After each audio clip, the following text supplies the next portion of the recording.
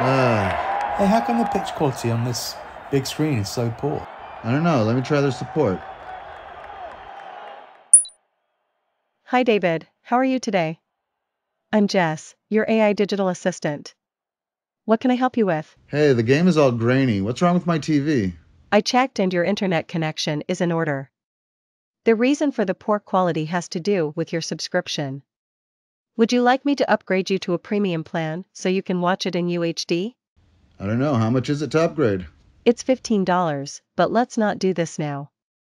I temporarily changed your settings so you can watch the rest of the game in UHD. Let's talk again at halftime. Sounds great. Is there anything else I can help you with now? No, I think we're good. I guess we'll see you at halftime.